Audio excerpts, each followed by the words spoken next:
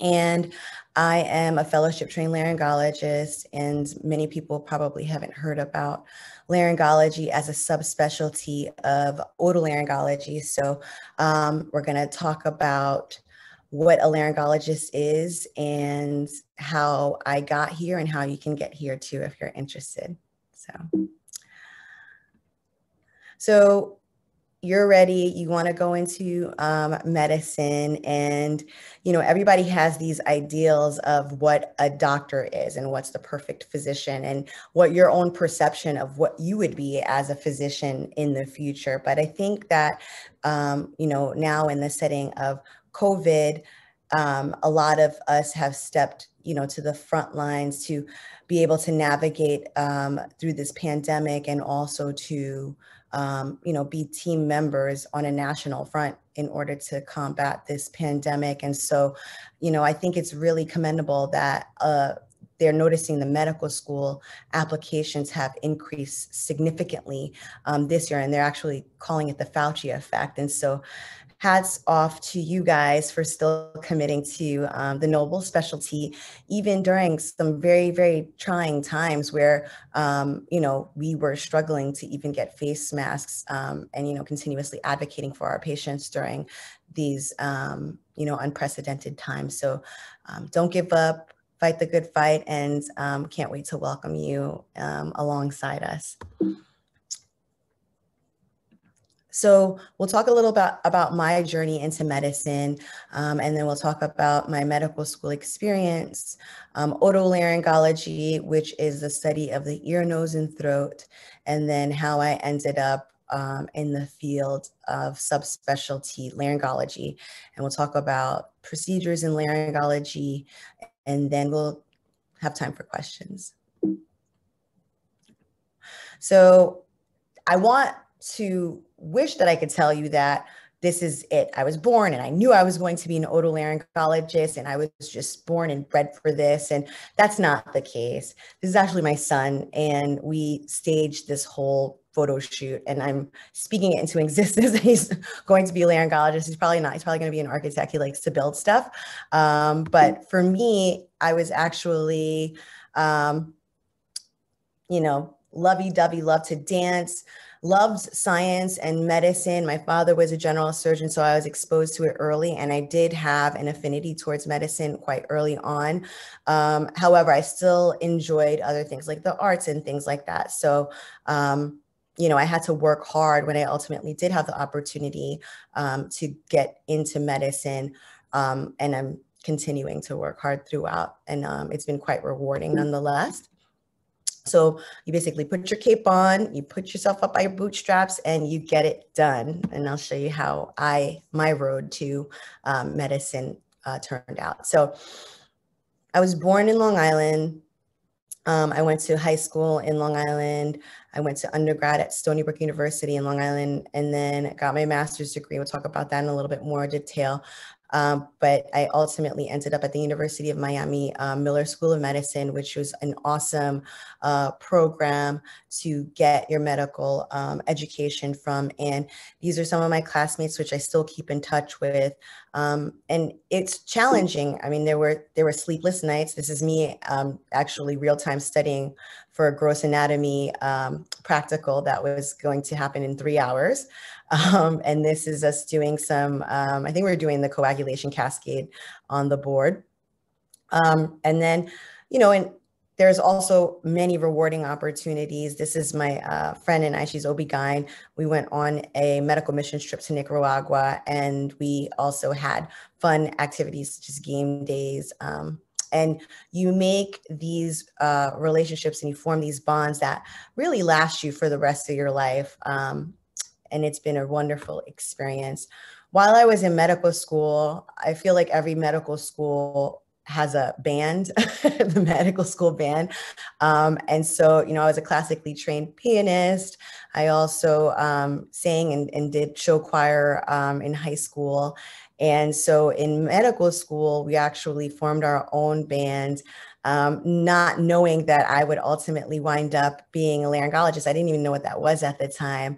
Um, but typically, because laryngologists work on the voice box for the most part, and the specialty of ENT in general, many of us are musicians or in the performing arts by trade, um, just because you know we're very in tune to the hearing and the um, the, the singing um, components. So um, I don't think it was a coincidence that I ended up as a laryngologist. And then the bonus is that I met my husband. Um, he actually was a part of our band too, but he's a real he's a real deal singer. So um, so after I completed medical school, I wanted to make my application more competitive. I wanted to stay in Miami. Um, so I applied um, after doing a research fellowship um, at the University of Miami at the downtown campus um, with the head and neck surgeon that worked on biomarkers for oropharyngeal um, head and neck cancer. And um, after completing that, I wound up matching into otolaryngology at the University of Miami. So this was the day that I matched, and it was definitely the happiest day of my life. Um, one of them. And residency is amazing and challenging. It goes by fast. While you're in it, it goes by slow. um, but in hindsight, it's it's um, it's a, an amazing experience. You learn so much um, in such a short period of time, and you still continue learning um, even till this day. I'm still learning as an attending. So my maiden name was Saint Victor. This was just a little blurb about me on our website residency website. This is me um, performing laser surgery as a resident on a patient that had papilloma um, lesions on their vocal cords. Um, this is me doing transoral robotic surgery or assisting um, with transoral robotic surgery. And I was actually pregnant. So it was nice to be able to sit during these surgical procedures. And this is me just doing a ear exam. We use these fancy um, oto um, microscopy um, equipment in order to really get a good look in the ear and be able to do procedures in the ear if needed in clinic. So afterwards, I completed a fellowship in laryngology. I was blessed enough to get accepted to Johns Hopkins, and um, the fellowship was neurolaryngology and working alongside some of the um, amazing and world-renowned physicians as well at this institution, the University of Miami. This is uh, Dr. Cummings. He is the publisher for one of the um, renowned ENT uh, textbooks. And this is me presenting my poster for one of the studies on papilloma um, at our laryngology meeting, Fall, Fall Voice. And no, sorry, this is a picture of the vocal folds. My husband got me this piece of artwork that's hanging up in my office. So this is a top down view looking from above at the vocal folds. And this is looking just straight on at the um, airway and the thyroid cartilages of the larynx. So my journey was a little bit all over the place, um, just because there were opportunities for me to make my application a little bit more competitive. So I capitalized on that um, along the way. So in essence, I was a non-traditional medical student. Um, I think I was around 20, I was 31, I believe, when I started residency. Um, so um, later than most, but there are people that do do it um, later for whatever reason. Um, so I did my undergrad at Stony Brook University. I majored in healthcare management, completed my pre-med prerequisites. I did a two-year uh, research um, internship at a national laboratory on Long Island.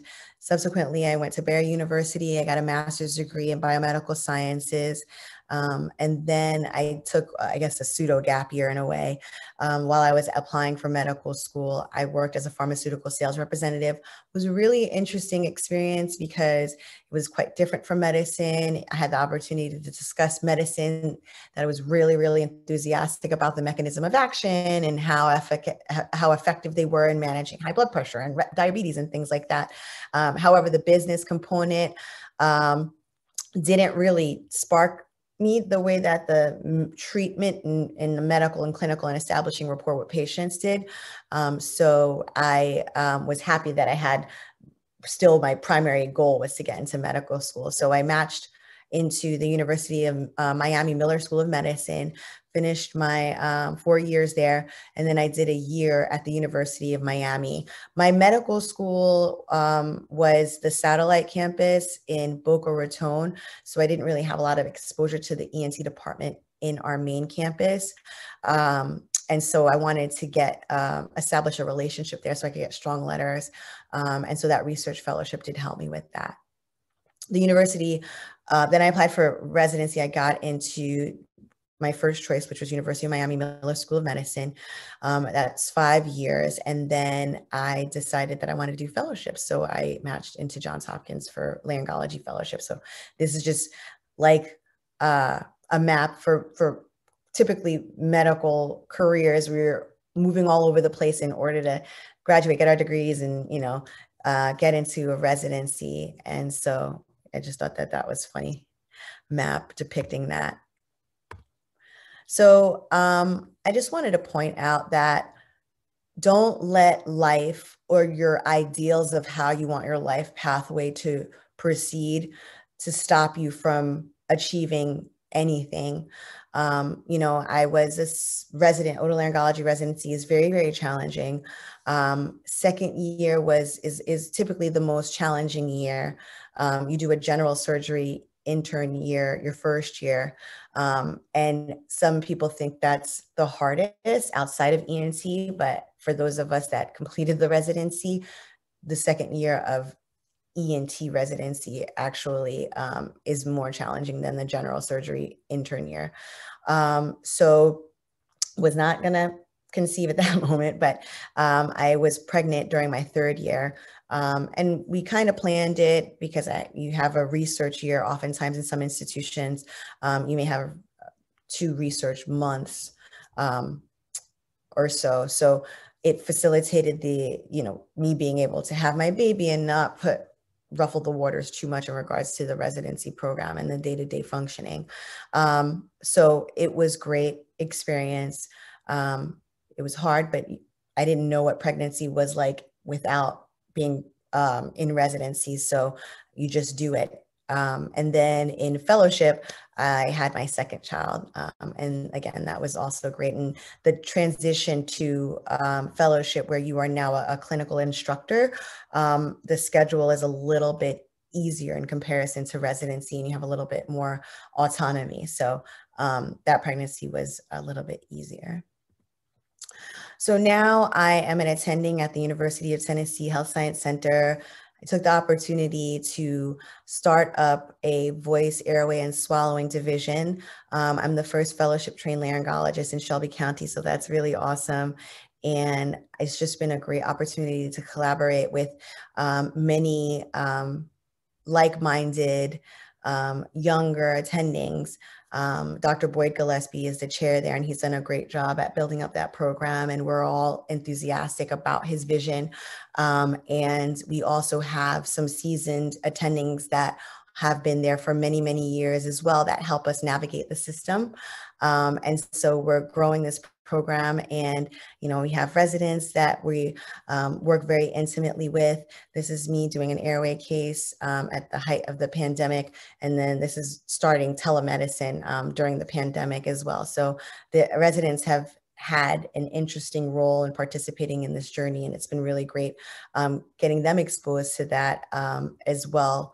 Um, and then the the other component in addition to um, being an, an, academic physician is research. So we do a lot of research um, if you want it's up to you um, when you decide to go out to practice. But i really enjoy contributing and making contributions and ent kind of lends itself toward that environment of contributing um, significantly to research because there's so much to learn and so much to do. Um, so many of us take initiative and do that.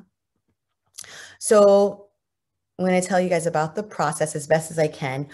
Pre-med years, I am 18 years out from pre-med. So I don't want to tell you these old folk tales about when I was in, you know, pre-med and how this worked out for me. But what I do think is very important and will be a recurring theme as I talk about the process is mentorship. So as a pre-med, um, you know, it's important for you to go out and explore, um, you know, anything that your heart desires and anything that you're interested in, just so that when you do hit the ground running in medical school, you can kind of have a little bit of an edge in knowing what you like and what you don't.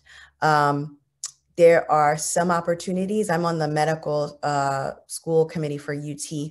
Um, and a lot of the students have had even during high school some opportunities to do some shadowing which is great and some people don't know that they want to go um, into medicine that early on so you know that's fine if you don't but as soon as you do and you do commit to that and you're in your pre-med years you know you don't need a formal program to do to find a mentor you could just you know find your local medical school and say hey is there anybody available that would be able to to guide me through the process or I can shadow for a few days, you know. Um, and that will be invaluable in helping you navigate through the system, particularly for the more competitive specialties such as ENT, neurosurgery, radiology, orthopedics, dermatology, and such. So choosing a specialty is challenging. I mean, you go in there and you like everything. You don't want to commit. You don't want people to not, you know, show interest in you because you're not showing interest in their specialty. Um, and as you go through medical school, there'll be certain nuances that some hold true about certain specialties, and you'll see if your personality fits in addition to what you're looking for in a, having a fulfilling career. So, um, for me, what I notice and what is the uh, stereotype for the otolaryngologist is that we're just nice people. Um, we really enjoy, you know, ourselves and we enjoy being around each other. We work hard, but we really do get along and we we have pretty decent bedside manner as well. Um, and that really struck stuck out to me. Um, and so, you know, that was the initial um, impression that I got, and it remains true even as I uh, move forward in my career and I'm now in attending. So you want to find what personality fits you in addition to what you're looking for for a career uh, fulfillment. So early on, you know, you have to figure out medical, surgical, or a little bit of both. And there are specialties that do um, combine the medical and the surgical aspects of medicine quite nicely. ENT definitely being one of them. Urology is another one. I think OB-GYN, in my opinion, is also a little medical and surgical as well. So I knew that I wanted something that was challenging. Um, and my husband sometimes is a little overwhelmed by my competitive nature, as you can see in that picture. Um, something that required a decent amount of manual dexterity. And so surgery was very, very um, um, interesting to me. And my dad was a general surgeon too. So I kind of got to see that personality, that lifestyle. Um, and so I really was interested in that component but i also like to develop relationships with my patients. I really enjoy continuity of care. I like to watch them grow so to speak um, while i'm treating them. Um, so otolaryngology definitely allowed for that and then laryngology also further um, contributed to those um, those uh, characteristics that I was looking for in a specialty. So I played the piano. I really love building things. I love putting things together, you know, furniture, IKEA. I love it. I love it all. Um, and so that really was what made me lean towards surgery. I love using tools. I love using new cool tools. Um, pottery was fun, though that was probably not my strongest um, suit um, but building and painting um, in addition to playing the piano, you know, building forts with my son, and then swatting flies while I'm returning emails, multitasking, teaching, all were things that I knew that I needed in a specialty. Um, and otolaryngology definitely gives you that. So you start off medical school and you learn the normal physiology, then you learn the pathophysiology of every single organ system. It's overwhelming. It's like drinking from a fire hydrant, and so is residency. It's all like drinking from a fire hydrant. But oftentimes, and not always, there are some people who are like, I still love everything, or I don't even know what I want to do. But sometimes there'll be that one particular organ system that stands out to you and just lights you up. And for me, that was otolaryngology. And I remember distinctly um, dissecting the facial nerve branches in my head and neck anatomy gross dissection class intricately, like branches of branches. I dissected branches to the branches um, and was very proud of that, that they were intact and, you know, looking at all of the intricacies of the head and neck and the nooks and crannies and so much that we don't see, you know, um, and that we have to use special equipment to visualize, to assess. That was really neat to me. So I knew there was something to the head and neck. And then we had a speaker come and talk to us about um, otolaryngology. And I shadowed him in that one opportunity I've uh, I found that he went in one room and it would be a child with an ear infection, and then the next patient that we saw would be a, an older gentleman with jawbone cancer, and I was like, this can never get boring. There's no way. There's so much variety, um, and so you know, I did a sub internship, um, a pre sub internship. I actually was able to do a, a pre sub internship at an outside institution before my sub internship, and um, I loved it long days didn't matter. I was still enthusiastic about it every single day. Um, sub internships are basically your opportunity to function as an intern and to um, perform, and you're being assessed while you're doing it, but you're basically getting to know the program a little bit better, and they're also getting to know you um, as well. Um, so diversity of the patients, clinical and circle balance, and the um, head and neck anatomy are what really drove me into um, otolaryngology. So medical school years, you finally decide what you want to do. For otolaryngology, research is pretty important. It's good if you can get into research that is relevant to the specialty, but if not, if you do some meaningful research you see a study along from start to finish, from birth to fruition and publication, and you're the first author on that particular publication, that is equally valuable as well. Um, if you, you know, some people just change their their interests and um, you know, they may have started with cardiology and have amazing cardiology research, but then, you know, second or third year they switch to ENT. That's fine. As long as you have an explanation for it, it's fine. Um, you definitely want to get in at shadowing early on in your medical school career because those are going to foster relationships where you will have mentors that will last you a lifetime. And then you want to do your clinical rotations. You want to, if you are in your third year, you can do a, a junior uh, sub internship where you get exposure to the specialty if you haven't already. Um, and then your fourth year, you want to make sure you get into your otolaryngology sub internships early so that you can get strong letters of recommendations. You may want to consider away rotations at other institutions as well, um, and and um, just get your name out there. So there was a paper out of uh, Ohio State University that just came out at the beginning of the year that talks about implementation of ENT mentorship programs and how um, valuable that was during the application for the application process um, because the medical students that were enrolled in this program actually all of them matched and not some of them changed out of ENT but still all of them matched. So i think there's something to say about the importance of mentorship and i think it needs to be emphasized more than it is because you have somebody who's a mentor helping you navigate through the system um, and they can guide you you foster relationships um, and it's just priceless because even beyond match you will still likely keep in touch with them and they'll have wisdom to impart on you um, throughout. So i would say mentorship from pre-med years is equally as important as um, in your medical school years as well.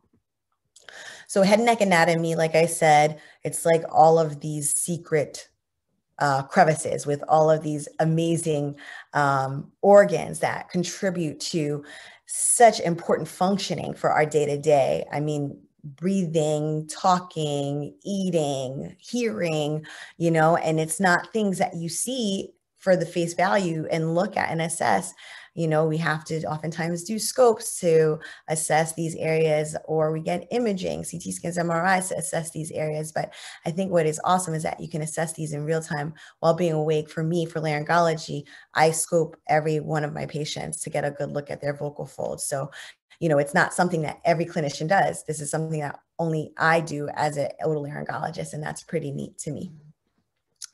So, like I said, we see babies, teenagers, adults, elderly, uh, the full gamut.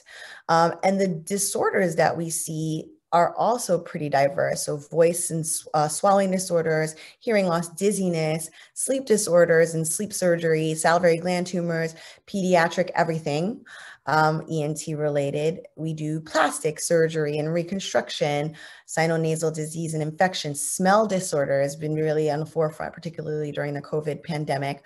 Trauma, facial trauma, airway trauma, airway obstruction from a tumor, a mass, scar tissue, nosebleeds, throat bleeds, both can be life threatening. Cancer and non cancerous tumors both can be life threatening and are urgent. And because we are in such close proximity to important things, raging infections of ear, nose, or throat can affect the skull base, could affect the brain, could affect the eyes, could affect your throat, and uh, could occlude your breathing. So, you know, there are significant amount of emergencies in ENT. And I think it's important to look at that. What specialty are you interested in? And how urgent are the um, the urgencies? And when I started my uh, residency, you know, you get a consultation for a nosebleed, but you want to treat everything as a diagnosis you can't afford to miss. Um, and so the level of urgency for a lot of things in ENT is quite high. Um, you know, and then I started to think of other specialties. I'm like, well, urology, you have, I guess, Fournier's gangrene, which is a really bad raging infection um, that needs to be treated urgently. And, I, you know, they have their urgent things too. So you just want to figure out how urgent are these things? How passionate am I about it? And it's going to significantly impact your training. Um, you know, so considering those things and, and um, how enthusiastic you are about the subspecialty is also um, important and can make a difference in your career selection as well. So, so much variety in this one specialty, and you probably haven't seen any of these cool instruments. This is a scope, um, a rigid scope for sinus surgery. So that's how we access um, a lot of the secret places in the head and neck. It's endoscopic, so you don't always have to make a big incision, particularly for cosmetic purposes. You, you want to um, avoid that if you can. Um, and so you have your sinus scopes here. This is a patient that has a tracheostomy tube in their neck. If they are, you know, uh, having some respiratory issues and either from the lung and they can't get off of the uh, vent machine or um, any obstruction from above, then sometimes they will require a breathing tube in the neck to bypass it. Um, this is a cochlear implant, you know, giving somebody their hearing back, super rewarding. Um, and then Botox, fillers, rhinoplasties, which are nose jobs, facelifts, all the things um, are part of otolaryngology. So my why, um, the real why in hindsight um, is when I was younger, I always thought that this, this may sound a little bit uh, random, but when I was younger, I always thought the soul was in the the neck region or in the chest region, and you know, I always thought that your voice was essentially your it's you it's the essence of who you are. So it could be technically like your soul. You know our voice allows us to speak. You know and can identify somebody by their voice um, on the phone. You don't necessarily have to see them. So the voice is unique in the way that it allows us, it's our instrument. Um, whether you're a professional voice user or a singer or not, it is your instrument and allows you to communicate with the outside world. And, you know, if you're not visible, it is a very, very poignant identifying um, characteristic.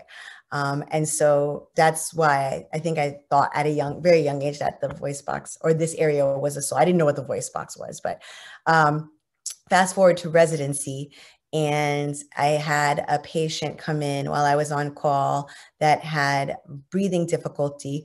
We quickly assessed him, and he had scar tissue, we call stenosis, in his airway. And so we took him to surgery, assessed the scar tissue, and we were able to open it up, and um, his breathing improved. However, scar tissue like that can recur. Um, so we opted to do a tracheal resection down the line where you basically cut the abnormal part of the airway out and you hook it back up. Um, so we performed this procedure on him, and he still required a trach afterwards, um, just because there was some instability in the hookup. Um, and so to ensure that his airway was okay and that he would be breathing okay after the surgery, we put the breathing tube back in. Um, you know, over time, you in residency, you switch rotation. So I, I gave him my um, number so that he could keep in touch and let me know how he was doing. Um, and several months later, he sent me a message and said, My trach is out. Thank you so much. And I auditioned for this dance um, position and I got it. So this is um, my patient from residency. This is guy here.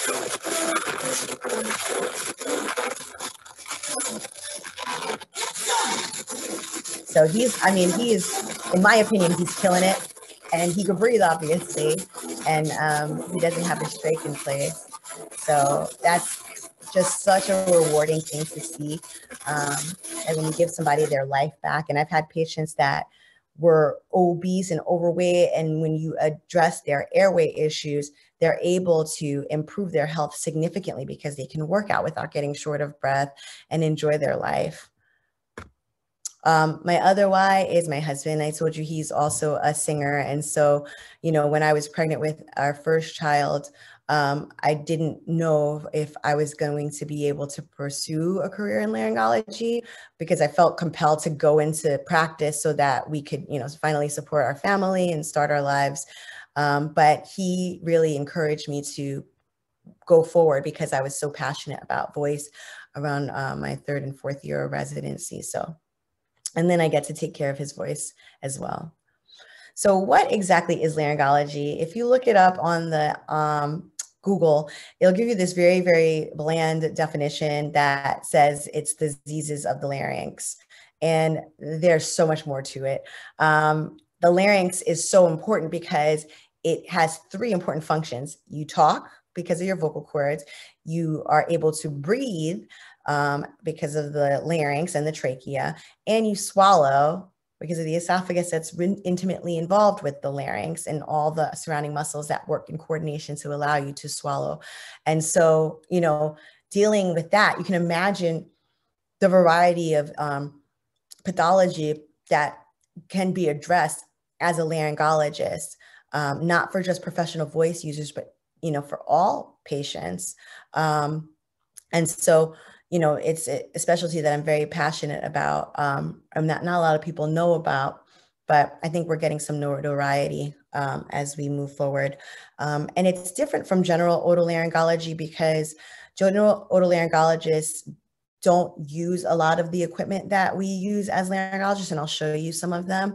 Um, some do, and, and some do use it well, um, but there are certain surgical nuances that a laryngologist um, is able to treat diseases in a specific way, you know, using fancy equipment like lasers and things like that, that general otolaryngologists may not use. So, so this is the larynx. You have the thyroid cartilage here and the vocal folds are actually housed in the thyroid cartilage. Here's a muscle that's depicting the cricothyroid muscle that elongates the vocal cords to change the pitch. Um, and a hyoid bone includes the larynx, and that's basically where the muscles of the throat, called the strap muscles, um, attach and help with swallowing as well as speech. And then you have the cricoid cartilage, which is a prominent cartilage where a lot of the muscles and other cartilage is attached to. Um, and this is the proximal trachea, which we also deal with. Behind all of this is your esophagus, your food tube. So swallowing um, is intimately involved, like I said. And so this is just a video showing, this is left vocal fold, right vocal fold. This is where you breathe, your windpipe. Behind here is your esophagus. And then over here is your, um, where you breathe again. So the vocal folds open to breathe and then they close when you're talking and then they also close when you're swallowing to protect your airway. So one of the main differences in um, in in the perception of the voice box basically between a laryngologist and maybe a general otolaryngologist is our ability to assess um, certain properties that clue us into the histol histology of the vocal folds. So one of the um, uh, equipments that we use is a laryngoscope. And that there's two types. There's the flexible which is uh, um, basically a tube that you put through the nose a camera so look at the vocal folds. And the other type is a rigid um, laryngoscope that you put through the mouth. And the um, equipment the fancy equipment is called a stroboscopy. And that basically gives you number one a high definition view of the vocal folds but it also allows you to assess on a histological level the uh, properties of the vocal folds. So there's the, the lining of the vocal folds here. These are the two vocal folds on a transverse cut view. And then you have the superficial lamina propria. And so the crux of vocal production is the superficial lamina propria and surgical intervention to the voice box.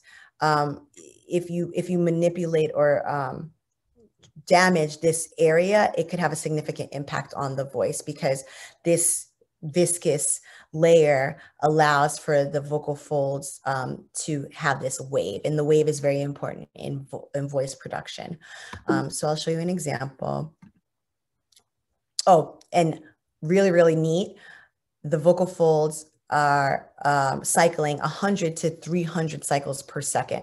So imagine that. That's like the most busiest muscle in your body is the thyroarytenoid muscles, which are here, the vocalis thyroarytenoid muscle complex. So 100 to 300 cycles per second. That's amazing. So um, this is the rigid stroboscopy, and that really gives you an awesome view of the vocal folds. Um, and it goes through the mouth, and you suddenly become a sword swallower. Not really, but um, it goes to the back of the tongue, and the camera actually is perpendicular, so it looks down. So the camera is actually looking here downwards onto your vocal folds. So I teach the residents um, how to do the stroboscopic exam and they practice on each other and on me. So I, I have a really wicked gag, so it didn't go that well, but you basically want to be sitting upright, um, kind of in a dog snip position, and the doctor um, holds the patient's tongue and you pass the scope to the back of the tongue. And that's my epiglottis right there. And then you see my vocal fold. I actually have a little polyp on my right vocal fold. Um, I have two kids, so five and three. Um, so I get a lot of vocal mileage. Um, and I gagged right there. So it was quite short lived. Um, and I don't look happy in that picture either, but um, it was fine. That was probably the seventh person to scope me at that moment. So that's why I look that way. Um, but this is a great exam. This is one of the speech language pathologists that I actually work with. And that's the wave that I'm talking about. So the stroboscopic exam works by the light flashing on different points of the cycle. And kind of like a cartoon flip book it gives you different points of the wave propagation but it slows it down so that you can see that it's symmetric it's that it's not reduced that you get complete closure that the vocal cords are opening and closing at the same way that it's well lubricated. Um, so you see there it didn't catch. But then there you go. So that's the mucosal wave that we're looking at with a stroboscopy exam so it would be reduced in the setting of a lesion or a mass on the vocal cord that you maybe you can't even see that's discrete. And it may be increased if there is paralysis or weakness of the muscle, and that flaccidity causes the vocal folds to vibrate a little bit more. Um, and you also want to look for symmetry between the two as well. So laryngology came more apparent as more celebrities um, actually had um, pathology that needed to be addressed and was impacting their career. So 2006, we started looking at these um, voice lifts or this aesthetic laryngology where patients, particularly older patients, have this thinning of the vocal folds. And that's a normal physiologic phenomenon where the vocal folds thin out. It's called atrophy. Um, and so started injecting them with some filler, the filler that we use for wrinkles and things as such. Um, and that helped to augment the voice of an older patient. Um, we do that very commonly now. So it's not as, as novel as it was back in 2006. Um, but then you move forward and now Rachael Ray needs vocal fold surgery for assist. Um, and you always heard her being hoarse on her talk on her television show. So um, she sounds markedly better. Um, we have um, Adele. Adele had a vocal hemorrhage and she had to cancel her concert. And, you know, it's very important as a laryngologist, as a clinician, to tell these people who their careers rely on their voice that you know you have to take that into consideration um, that you can do significant amount of damage if you don't pull out from your show um, at least temporarily while we are fixing things um, and that's a very difficult conversation to have um, and adele and then celine and all these singers started you know coming to the forefront about their you know difficulties with their vocal injuries. And one of the talk show hosts, Sheinelle Jones, on the Today Show, also had vocal fold surgery right before our famous Fauci um, had vocal fold surgery. And I got to tell you, I knew he had a polyp every time he spoke. I just wanted to just put a scope down his throat and take a look um, to assess it because you know he sounded like he had a lesion and he was doing all these you know speaking engagements and um, i'm glad that he got the care that he needed and because he's doing a lot of speaking engagements it's important for him and he mentioned this um, when he was talking to Sheinelle Jones um, that um, they do voice therapy so that's good so laryngology is a lot more than meets the eye. Um, we do a variety of awake in-office procedures, which is one of the things that I love about laryngology. It's immediate results for both you and the patient, um, immediate gratification for both you and the patient, a lot of awake procedures. You really got to build trust with your patients to be able to do these awake procedures because, you know, it's on the vocal folds and that's pretty challenging to access.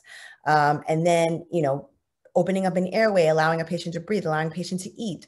Um, and then you have multidisciplinary approaches, um, particularly with speech language pathologists, which are an amazing group of people that I truly enjoy um, working with, and they help with every component, voice swallowing and respiratory retraining. So.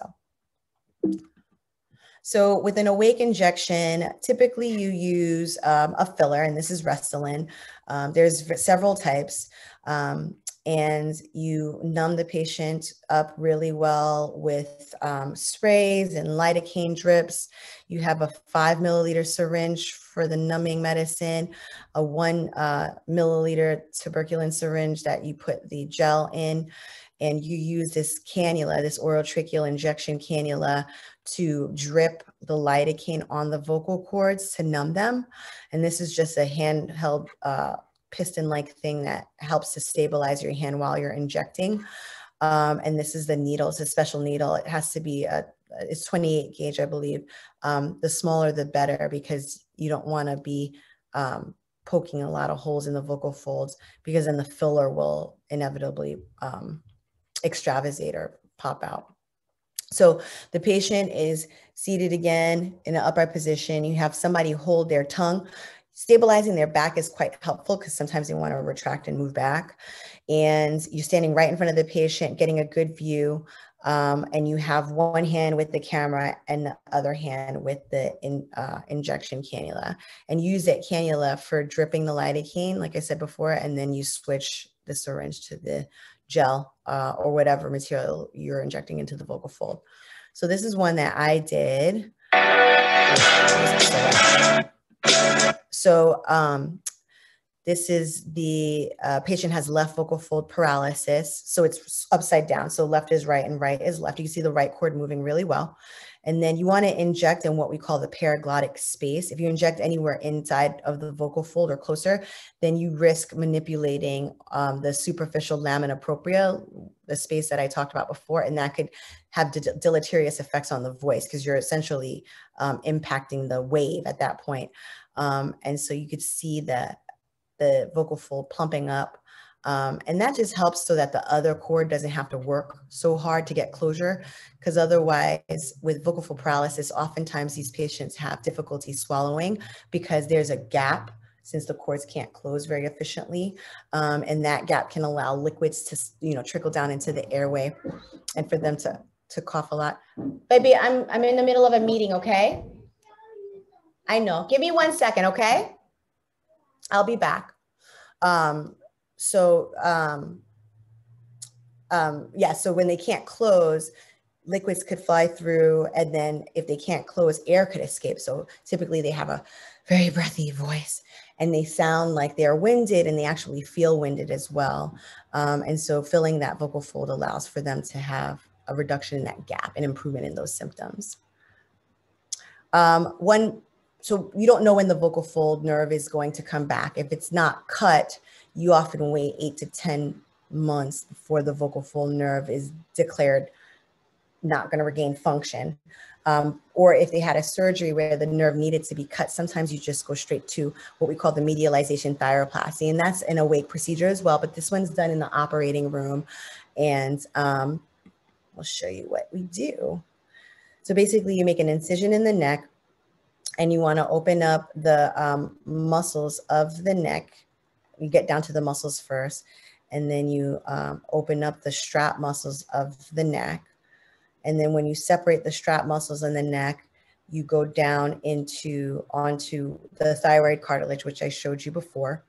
Um, and the thyroid cartilage um, gives you access to the paraglottic space, which is next to the vocal folds.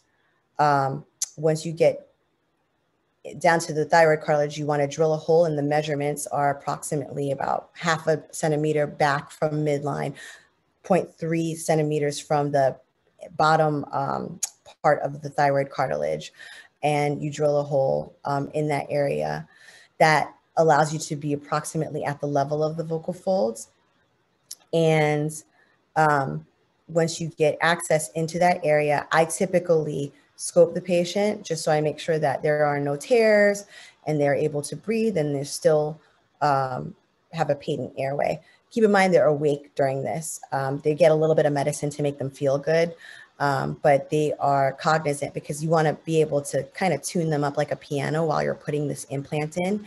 And this is a Gore-Tex implant that um, basically pushes the vocal cord, kind of like the way that it plumped up with the the injection, but this stays in. And then you have the patient talk and kind of feel out, is this comfortable? Is this sound like your normal voice? And once you've achieved based on your perception as well as the patient's perception, the ideal positioning, then you want to put the scope, um, this time it's through the nose in the surgery, um, and take a look at the vocal fold and make sure that you've gotten a good position and that the airway is still patent. Um, and then you close the patient up. They typically do well. Um, afterwards, I still give patients, uh, recommend voice therapy afterwards, just because it's like trying on a new pair of heels you know, you got to break them in and, and, get a little used to it. So um, voice therapy kind of helps to optimize the surgical intervention. So lasers, love lasers. That's one of the reasons, again, why I got into otolaryngology because lasers are pretty neat and exciting.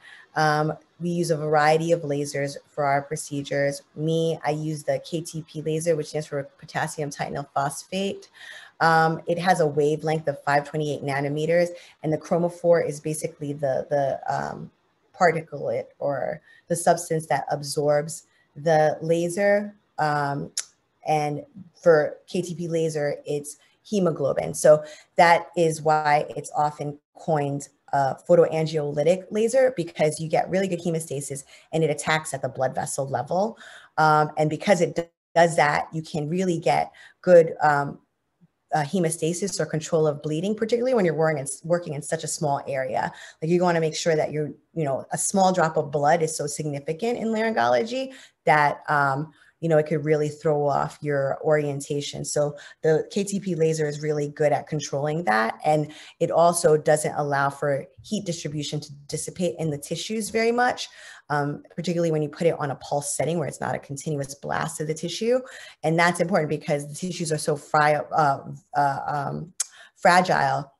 You know, if it has significant scarring or any effect like that, it could again significantly impact the voice. So our perspective as a laryngologist is really, really big on voice preservation, even when we're dealing with cancers. So when we deal with early cancers of the vocal cords, we focus on voice preservation um, while obviously making it important to get rid of the cancer um, as best as possible. So this is what the KTP laser looks like. It just looks like a box, nothing exciting, but this is the setup. So the patient sits here, you have your screen here, the KTP laser is here, you have suction set up, smoke evacuator because it can get really smoky in there.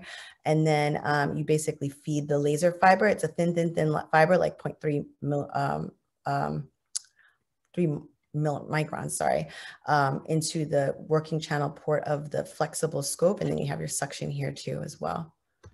So uh, because of its affinity to hemoglobin, you know, there's this concern that it can affect the um, eyes, the retina. So we wear our uh, goggles in order to protect against that. And then orange in order to counteract the laser.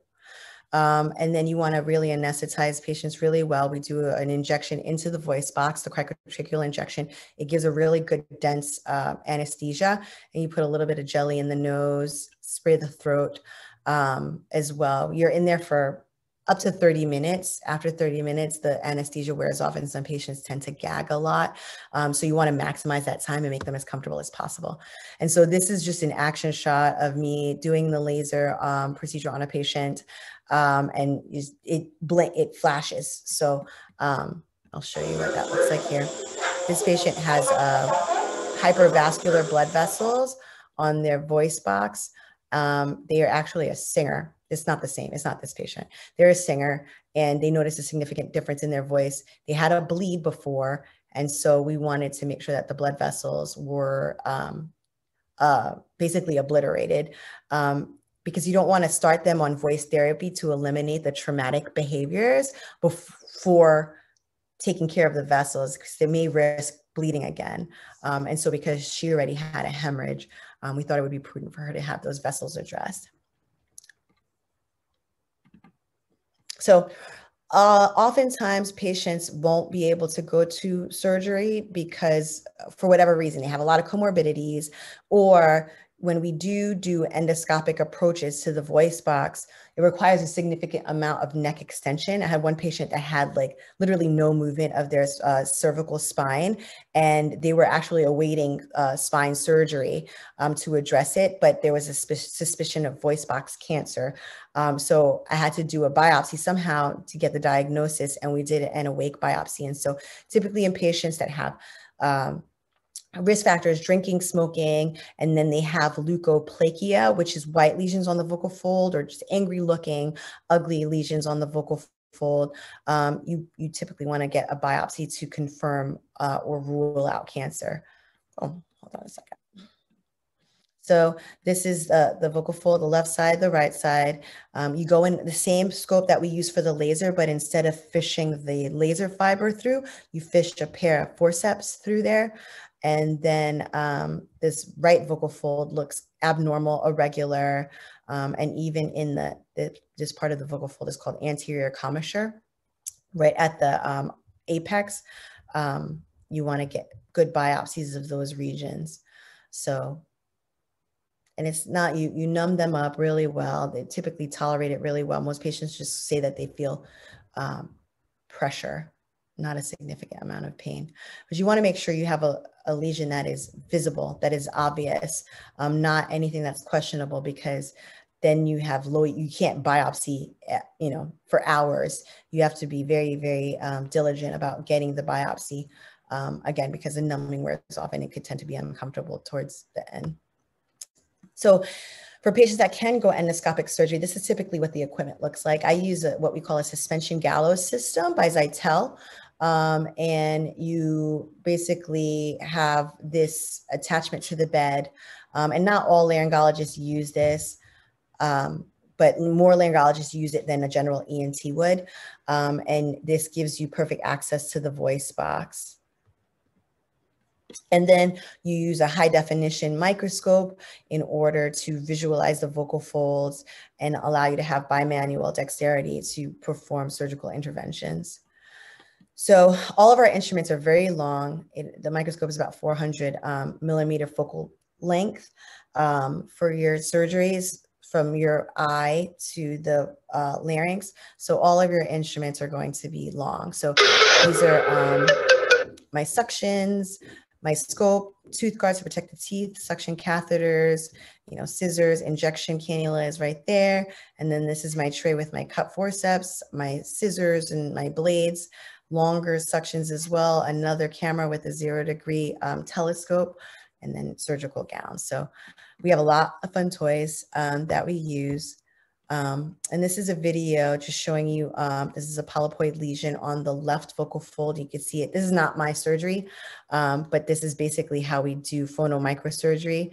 So, you know, like I said, blood in this field, as you see, um, it could be minimal, like a fraction of a milliliter and it, it could really occlude your view. So we're very meticulous about maintaining hemostasis because you want to not violate and go deeper than you need to. Um, so you have a pledget, which is just a, a cottonoid um, small balled up material. And some people use oxymetazoline, which is hemostatic agent. Some I use uh, epinephrine, um, diluted epinephrine. Um, and so you elevate this um, off of the vibratory edge of the vocal fold because lesions in this area have a significant impact on the voice. And so these can be caused by trauma, um, traumatic behaviors. Um, and so um, you definitely want to make sure that they get into voice therapy both before, um, because they're going to need voice rest afterwards. And um, you want to teach them how to ramp up their voice. Whispering, terrible. Like it has to be strict, strict voice rest. Um, and so you cut the lesion off and make sure you get good control of the bleeding. And it's as if you were never there. So I would imagine this patient did very well after. This is um, one of the surgeries that I actually did. This was a lady, she was a manager for a, a well-known company and she noticed that her voice was just significantly impacting her ability to perform her job, a lot of vocal fatigue. She did have some roughness to her voice, and she wound up having what we call a uh, cyst in the vocal fold. There's two types. There's mucus retention cyst, and then there's epidermoid cyst. Both are not related to trauma, but they can significantly impact your voice. So if you're a professional voice user, oftentimes we remove them, and she also did great after surgery.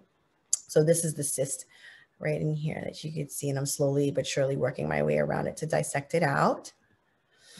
So moving on to airway procedures. Um, so this is the vocal fold again, right side, left side. This is the front, this is the back.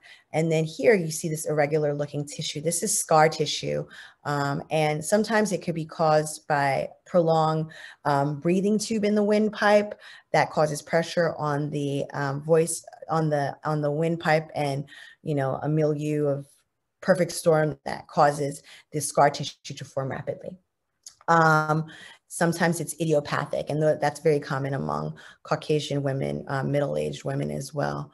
Um, sometimes it could be autoimmune related. So there's a various, cause and now with COVID, we're seeing a lot of these post-intubation COVID-related um, scar tissues in the airway. So the treatment is pretty much um, the same. There's multiple ways to attack this disease. I enjoy endoscopic procedures.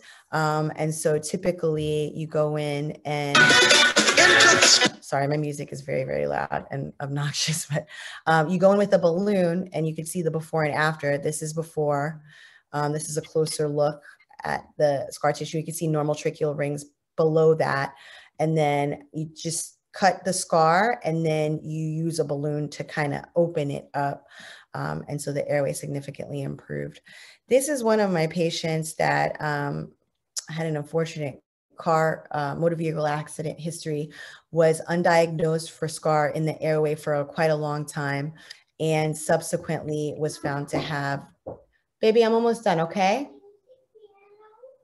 uh yeah go ahead um, was subsequently found to have um, scar tissue in her airway and you can see that the scar tissue is i mean significantly um, obstructing her airway um, and so again, we use this balloon right here to open it up and she's had um, great results with that.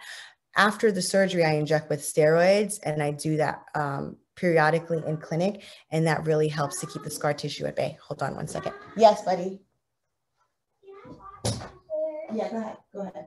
Look, look, look. Wow. Okay. Baby, let, let me look afterwards. I'm giving a presentation. Come, come say hi. Sorry, guys. No, I can't, buddy. I'm teaching. Okay. So you can look and then do it. No, go ahead. I'll be right back. I'll be right back, buddy. I'll be right back. Yeah, go ahead. Yeah. That's my my eldest son. Sorry. So um, so yeah, they do serial injections, and oftentimes with the steroid injections, they don't require um, surgical intervention, or at least it's prolonged between surgical interventions. Because, like I said, the scar tissue tends to reform.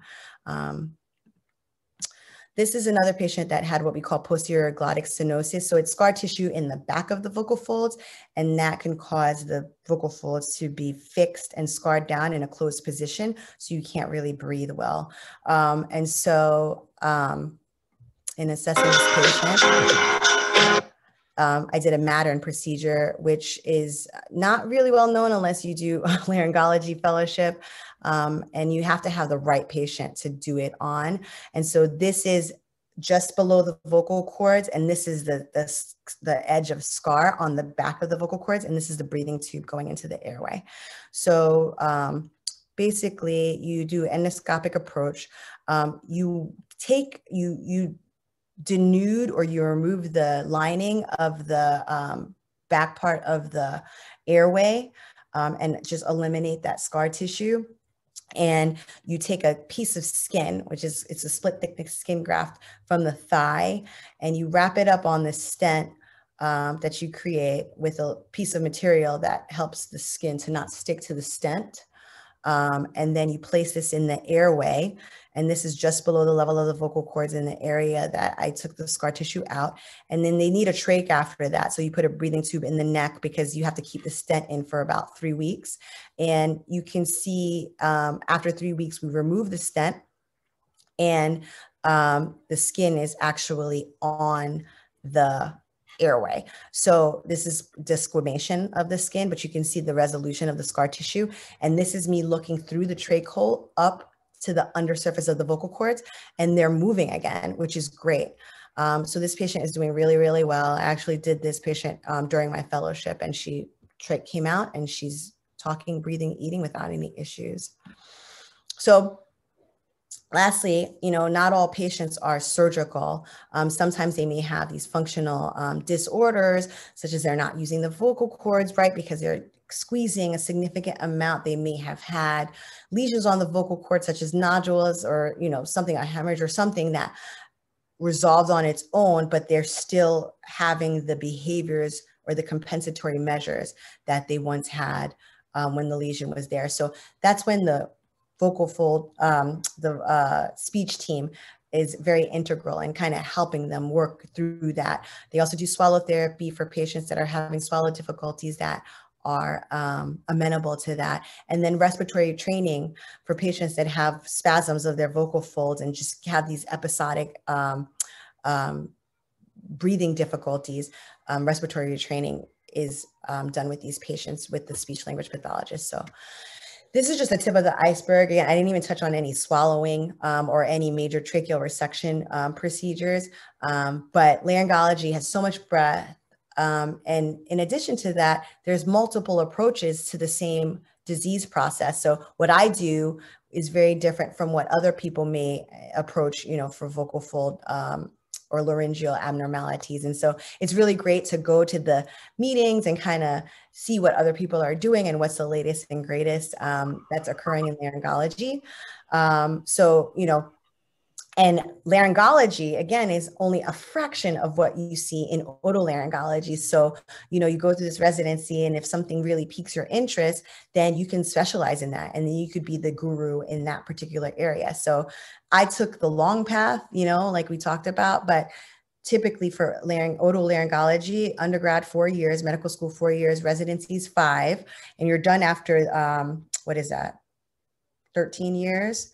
Um, but if you want to do an extra training you can. And you know you could specialize in ears you could specialize in head and neck cancer and flap reconstruction. You could do facial plastics you can do um, sinus and skull base surgery and you could do pediatric otolaryngology. All of these are one year most of them for the most part. Neurotology across the board is usually two years. Um, and so you know don't let anything deter you from achieving your goals and your dreams. It will all fall into place. And wherever you go, whatever you do, it will be perfect for you. Um, you know, I was lucky enough to go where I wanted to go, but I really do think that, again, otolaryngology, we have such great people in the specialty that, um, you know, you would have, you could have a great time anywhere. Um, and so this is my family. We took pictures for Christmas. Um, any questions? Thank you so much for this session. This was amazing. Thank you. There's a lot of people saying that they definitely learned a lot. We love the videos. The visuals are awesome.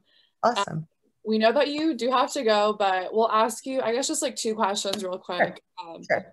One of the questions we had early on, and that a ton of people seem to have, was what, you know, as a part of a medical admissions um, committee, mm-hmm. what are your thoughts on virtual shadowing? Um, what has your program specifically decided to do? What do you think um, other programs might do? Um, so I am really, really excited about you and this initiative with socially distanced shadowing. It's important. Um, and I think that we probably should incorporate it um, into our repertoire, particularly because of the COVID pandemic. I mean, we don't know when we're going to get back to any sense of normalcy, um, you know, and it doesn't look like it's anytime soon.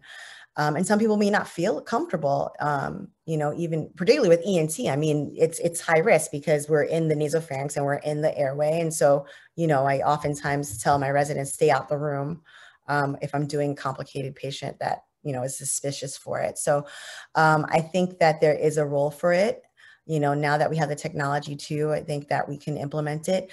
Um, and now that I've had the opportunity to do this on this platform. I'm going to bring it back to my chair and see that we can, um, if we can implement it.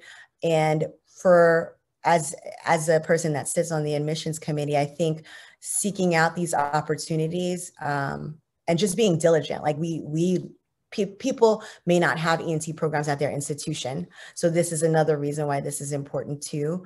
And seeking out those opportunities and then subsequently following through and getting mentors and, you know, speaks volumes to us you know just the go-getter attitude it speaks volumes to us. So i think you know kudos to y'all for starting it and put it on your application you know wherever you end up or whatever you wind up doing. Um, but it's it's invaluable. It's invaluable right now. Great. Thank you so much. I think a lot of people needed to hear that. Um, yeah we had a ton of ton of ton of questions um, but i think another one that we had earlier on that was interesting was um, just how you can manage um, patients if they're going to be awake or if you're just doing a really simple test that have like a very sensitive gag reflex because this is something that happens pretty often right Right, that's a good question. Um, so I always ask them if they're going to gag. Do they gag when they brush their teeth? Um, that's the first question. And if they say they do, I always test anyway. So I use a tongue depressor for the oral cavity exam. We use tongue depressors, and I may try and elicit the gag by touching the back of their tongue. And if it's a very strong gag, um, and they're not comfortable with it, then we say, you know what, we're probably not going to be a candidate for a wake procedure. If they're like, okay, I want to try it, um, then we try it. And I tell them, you don't have to be a hero. You know, you're not going to get any like superpowers or points for you know not gagging or throwing up and like being uncomfortable you know to the point of pain. So that's the last thing that i want to do. Um, so if they can't do it they can't do it. And i think i've had two patients um, that just couldn't do it. And it was fine. We just stopped. They wanted to keep going. I'm like no your mascara is running and you look like you're in pain. So i think we should stop. Um, however um, awake procedures are tricky and you have to be really good at establishing rapport with your patient and establishing trust. And then numbing is also important. But I think giving them the time to digest the process and how it's going to work and being very explicit about okay now i'm going to inject it tastes really funky it's going to make you cough you're going to feel really numb and you may not be able to swallow really well but that's okay you know, and that's the anesthesia working. Just reassuring them um, is important. So I spend a lot of time like befriending my patients and earning that trust too, so that the procedure will go smoothly. And just, I mean, just because you're a doctor, you want to be able to establish that rapport with them. So it's time consuming, but it's worth it. And it really helps with the wake procedures. So. Thank you so much for those questions. Um, there were a ton of questions. So we put your Instagram, we'll okay. do it again. So if anyone has any questions, if they want to follow you, definitely yep. go follow Dr. Snap. I'm going to copy and paste it in the chat again. Awesome. Thank you. Thanks well, a lot. presentation so much, and I will not forget how to say laryngology ever again. So I know. I was like, man, I got to learn how to say this if I'm going to go into this specialty. It took me a while too, so it's okay. yeah So thank you so much. We appreciate it. There's so many comments in the